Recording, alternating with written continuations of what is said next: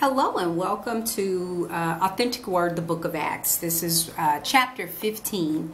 And even before I begin to pray, I can see why this has been so contended by the adversary, by the enemy that would not want us to make it through chapter by chapter, line upon line through the book of Acts. I see it. I began this study back in 2015 I took a two year sabbatical and began picking it back up, and I want to make it through chapter 28. Right now, we're on chapter 15. I pray you've already listened to the previous ones, and my goal is one a week for the rest of 2019. We're in 2019. It's actually May 2019 one a week so that we can finish with the book of Acts and just go back and Selah, pause and calmly think on what Holy Spirit wants us to see that we are yet living in the 29th book of Acts. There's only 28 books in the canon of Scripture, but Holy Spirit is yet acting and living and writing the Gospels through our lives, writing the acts of Holy Spirit through our lives. So that's what our goal is. God, we thank you and praise you for Holy Spirit that is our teacher, our strengthener, our advocate. He's our helper. He's our guide. He leads us and guides us into all truth. Thank you, Holy Spirit, for showing us and giving us uh, the capacity to the grace of God, the grace, the mercy, the unmerited favor, the grace, the ability to do that which you, oh God, have us in the earth realm to do, that we receive through the agent of Holy Spirit in our lives. We give you access to teach us, lead us, guide us, instruct us, direct us, correct us as we go through through Acts chapter 15, we say, Have your way. Show us our role, our part as Holy Spirit desires to yet live through us in this book. In Jesus' name, amen.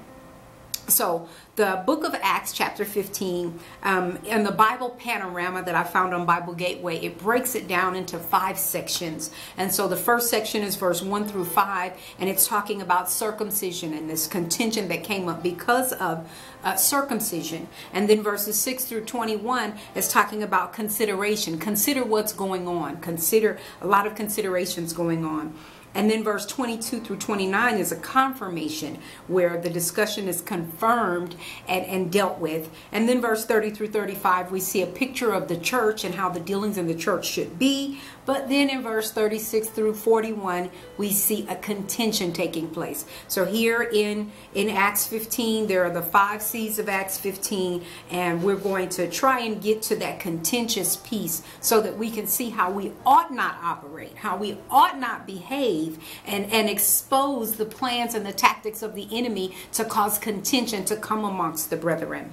So, verse 1 through 5, looking at circumcision or um, one version of the Bible says to let outsiders inside. So the, the, the, question is, do we let outsiders inside? And then also another version called it the council in Jerusalem. And then another version called it uh, conflict over circumcision. Let me just pose this question. I remember the first time when I began to see in the New Testament that there's this conflict over whether they're circumcised or not. And my question was, are you looking at their private parts to know if they're circumcised or not? Or do you just assume you know based off their externals what it looks like? You know, in the New Testament, circumcision is of the heart, not the natural organ anyway. So, hmm, I just had to put that out there. That was in the beginning, that was my childish spiritual mind, my immature spiritual mind wondering. But as I've studied it even the more, especially with the mindset that circumcision is of the heart, it's the carnal nature of the heart being cut back with the two-edged sword of the word with the word of God okay? So let's just read. I'll try we may not read verse for verse but we're going to look at what's going on in each of these sections. So verse 1 through 5 it says at verse 1 but some men came from came down from Judea and were instructing the brethren unless you're circumcised in accordance with the Mosaic custom you can't be saved and so I said the Mosaic customs, they were trying to put religious ways above the truth. The truth is salvation through Jesus Christ. Doesn't have all these other religious ways, whether it's the Mosaic way or whatever. Anyway, And so keep going at verse 2. It says, And when Paul and Barnabas had no small disagreement and discussion with them, it was decided that Paul and Barnabas and some of the others of their number should go up to Jerusalem and confer with the apostles, the special messengers, and the elders about this matter. So as I was studying this out, I said about this matter, they were they were to bring wisdom on the matter because when it said a small uh, disagreement and discussion, uh, that strife, strife came up. And so Another note that I found now, the other ones, those were my thoughts. This is a note that I found. The success of this party would have perpetuated Judaism and forever have neutralized those philanthropic principles of the gospel, which the experience of the world and the wisdom of God alike had shown to be necessary to the moral renovation of the human race. So basically, the other thing that I saw there was because of deep prejudices among whether you're the circumcision or the uncircumcision, whether you're Jewish Jewish or Gentile. So it was deep prejudices against Gentile nations that were coming to the surface, and Holy Spirit was allowing this to happen. Keep going. Verse 3 it says, So being fitted out and sent on their way to the church, they went through both Phoenicia and Samaria, telling of the conversion of the Gentiles, the heathen, and they caused great rejoicing among the brethren. Um, I said conversions should cause a great rejoicing. So as they went and were telling, it should be a great rejoicing, not this contentious strife. They saved, but did they get saved like I got saved? Everybody not gonna get saved like you got saved. Did they receive Jesus? That's the common denominator, not your personal experience, but where's Jesus at in their lives? Or do they have access to Holy Spirit that we pray about all the time? Um, keep reading, verse 4. When they arrived in Jerusalem, they were heartily welcomed by the church and the apostles and the elders, and they told them all that God had accomplished through them. Verse 5 says, But some who believed, who acknowledged Jesus as their Savior and devoted themselves to Him. Remember, that's what it's all about believing, acknowledging Jesus as Savior and developing, devoting yourself to Him. They belonged to the sect of the Pharisees. So they were more identifying with the Pharisaical roots than these newfound roots in Jesus. Anyway, and they rose up and said, It is necessary to circumcise the Gentile converts and to charge them to obey the law of Moses. This was one thing that Holy Spirit showed me. This was Paulette. Uh, some old wineskin believers or leaders had a problem with this new group of converts not following the old ways. I said religion focuses on externals, not on heart conversions. You're supposed to look the part. They want wanted that's people that's so busy trying to clean the fish before it's caught the fish. Anyway, uh, there will always be the some type who are stuck on the old and want to keep everyone in bondage to religion. It's always going to be that way. The Bible is showing us that. I wish it could be another way, but the Bible is showing us this way. Um, I got a big note here. I don't want to read this all, but it's just saying that um, there's this contention. There's always going to be false brethren unawares, according to Galatians 2 4, that come in and they want to spy out the liberty of those in Jesus Christ. So, are you saved when you're more concerned about liberties versus religious strictness my question is is it false? Is it a false brethren or is it an authentic brethren that's just stuck on the old and needs to drink some of the new wine of holy spirit? Okay let's keep reading. At verse 6 it switches and talks about the jerusalem council. And as was said this is also the section on consideration. So the apostles and the elders were assembled together to look into and consider this matter. And after there had been a long debate Peter got up and said to them, Brethren, you know that quite a while ago, I said back in chapter 10 with the conversion of Cornelius and the first Gentiles to be saved, God made a choice or a selection from among you that by my mouth the Gentiles should hear the message of the gospel concerning the attainment through Christ of salvation in the kingdom of God. And let me say this what were the Gentiles supposed to hear? The message of salvation through Christ, not the message of get under Mosaic law. Just just putting that out there. They they so they heard the message of the gospel and believe, accredit, and place their confidence in it, in Jesus Christ as the Savior, as access into the kingdom.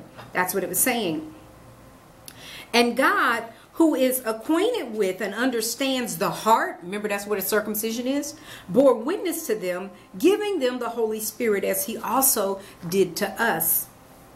Verse 9, and he made no difference between us and them, but cleansed their hearts by faith. I love the Amplified. It's telling us what faith is right there in Acts 15, verse 9. If you want to know, do you have faith or the right kind of faith? This is what it is. It says, Who cleansed their hearts by faith, by a strong and welcome conviction that Jesus is the Messiah, through whom we obtain eternal salvation in the kingdom of God. And then I'll add on Matthew 11, 28 through 30. So now what you are to do is learn of him and come unto him, all you who labor and are heavy laden. Don't get up under another labor of religion. Let's keep reading. Verse 10. It says, Now then, why do you try to test God by putting a yoke on the necks of the disciples, such as neither our forefathers nor we ourselves were able to endure. So that he's saying, why are you trying to make them live to a standard that you know is unattainable?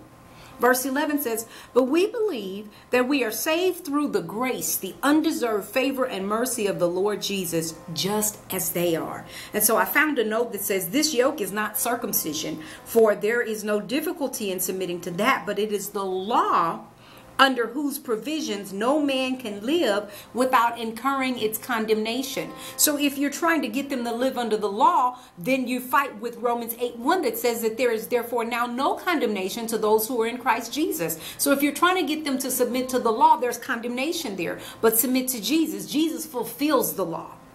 And so this is why there's always a strong disagreement or a contention amongst the brethren that are trying to get people to live up in alignment with religious rigmarole instead of Jesus and have Holy Spirit to lead you, guide you, teach you, instruct you, correct you, convict you, redirect you, rebuke you. It's not just all patty cake. Some stuff we're doing wrong. He'll tell you your heart is wrong right there. Okay, let me keep going. So that was verse 11. Wait, back up at verse 10. Uh, the yoke uh, we couldn't endure, trying to bring them back to bondage instead of free in Christ. We've got to be careful not to do that to the converts and the people of God. Verse 12 says, Then the whole assembly remained silent. A holy hush fell on them. And they listened attentively as Barnabas and Paul rehearsed what signs and wonders God had performed through them among the Gentiles um, verse 13, when they had finished talking, James replied. So Paul and Barnabas began to speak, and the Spirit of the Holy Spirit brought a hush on everybody. They were listening. So at verse 12, I said, Remain silent. When you are being used as a mouthpiece of the Lord, He will silence the strife and bring forth truth. He'll bring forth wisdom. He will do that. And so James came and he began to speak to the brethren. He said, Look, listen to me. Peter, has rehearsed uh, how God first visited the Gentiles to take out of them a people. So it goes on. There's a paraphrase. We're going to just paraphrase right here, verse 14 through 18 of what was being said. Uh, Peter just was telling them, look, it was foretold that this was going to happen. This happened, verse 18. So the Lord says the Lord who has been making these things known from the beginning of the world. Who made them known? The Lord. Verse 19, it goes on to say, Therefore, it is my opinion, this is still James speaking. He said, um, yeah, James is speaking. He said, Therefore, it is my opinion that we should not put obstacles in the way of and annoy and disturb the, those of the Gentiles who turn to God. Verse 20, but we should send word to them in writing to abstain from and avoid anything that has been polluted by being offered to idols and all sexual impurity and eating meat of animals that uh, have been strangled and tasting of blood. So at verse 20, when he told them, abstain from idolatry, because that's what contaminates the heart. Anything that was offered to another, that's where contamination comes in. And so, verse 21, it says, For from ancient generations Moses has had his preachers in every town, for he is read aloud from Sabbath. He is read aloud every Sabbath in the synagogues. So basically, he was saying, We're not throwing out the Mosaic law, it's read. And it, it's in front of us, but don't put people under bondage to it. And, and our Jesus came so that we can have freedom. And it's not necessarily bondage, but we're a bond servant to the Lord Jesus Christ. And we have Holy Spirit that helps us be my body, his life. I just had to throw that out there. So now we're getting to the second section or the third section of confirmation, verse 22 through 29. Um, these are letters that were sent to the Gentiles. Let me flip my page here. Verse 22. Then the apostles and the elders, together with the whole church, resolved to select men from among their number and send them to Antioch with Paul and Barnabas. They chose Judas, called Barsabbas, and Silas, both leading men among the brethren, and sent them. So there is this. They're like, I hear what you're saying, but we still want to hear from somebody else. I don't want to take it from you. That's just strife to the utmost. But God is patient with the nature of mankind. It says, verse 23 with them they sent the following letter The brethren, both the apostles and the elders, to the brethren who are the Gentiles in Antioch and Syria and Cilicia. Greetings. Verse 24 As we have heard that some persons from our number have disturbed you with their teaching, unsettling your minds and throwing you into confusion, although we gave them no express orders or instructions on the points in question. And so, my thing is this what we should not be doing to anyone who receives Christ is to cause them to have to unsettle their mind, to disturb them, to throw them into confusion. Who's the author of confusion? Who are you a servant for? Okay, I said the word itself offends. Don't add to it with the man side restrictions of religion. Okay, let's just try and finish this up. I'm not going to finish every verse, but I just want us to see. Um, uh, verse 25 he says this was resolved in the assembly. These men they have hazarded their lives. It meant they have committed they have committed their lives to god. They've given their lives over for the sake of others. And so they're coming. Verse 28 for it has, it has seemed good to the Holy Spirit and to us not to lay upon you um, any greater burden than these indispensable requirements that you abstain from idolatry and sexual impurity, is what it goes on in verse 29 to say. So when they said that it seemed good to the Holy Spirit and to us not to weigh the people down with extra rules, just abstain from idolatry. That's the true commandment. The first one, you shall have no other gods before me. Jesus fulfills that and the Holy Spirit empowers you to do all of that. So we get to this last section looking at this contention, this strong contention. I got three minutes left. Lord help me uh, close this out. That there was a separation of Barnabas and Saul. I'm just going to paraphrase a little bit of what was going on. So they went to Antioch and the people rejoiced with consolation and encouragement as they brought it forth. And, and verse 32 Judas and Silas, who were themselves prophets, they were inspired interpreters of the will and purposes of God. They urged and warned and consoled and encouraged the brethren with many words and strengthened them. That's what prophetic voices are to be doing today. We are to um, prophesy and, and encourage and warn and direct. It's not just all rebuke and it's not just all stuff. But this is what we're supposed to do urge, warn, console, and encourage and strengthen the people of God. And after spending some time there, they sent back by the brethren with the greeting, Peace to those who had sent them. However, Silas decided to stay on there. So Silas kind of, it said Silas decided. It didn't say Holy Spirit told him to. It was his decision. So then at verse 35, Paul and Barnabas remained in Antioch and with many others also continued teaching and proclaiming the good news and the word of the Lord concerning the attainment through Christ of eternal salvation in the kingdom. And after some time, uh, Paul said to Barnabas, Come, let us go back again, visit and help the min- and minister to the brethren. They were going back to shore up the people who had received salvation through Jesus Christ in every town where we made known the message of the Lord and see how they are getting along. They knew that strife would come in and contention would come in. In my book, Renewal of the Mind, I have a whole section on contention and how, as believers, we cannot be people causing contention amongst the brethren, which is kind of sort of what happened here. But then again, yes and no because they didn't tear down their testimony. I got way more than I can say in one minute. But what happened was they were about to go Barnabas wanted to take John Mark. Paul said, uh-uh, I don't want to take him with us. He deserted us in the past. And there was a sharp disagreement between them. They separated, but they continued to work in the Lord and the contention and the disagreement wasn't that bad because they still talk about it in the future. Sometimes when we have disagreements with people, whether they're new in the ministry or we're new in the ministry, we, be careful not to tear down somebody's name and testimony and the works that they're doing as unto the Lord because they rubbed you the wrong way one time or a few times. And that's basically, I'm, I don't have time to read it in its entirety, but there is scripture when I studied this thing out that there was preservation. They both continued to do the work of the Lord. And later on, Paul went back and said he's helpful, he's useful. So make sure that we are. Um,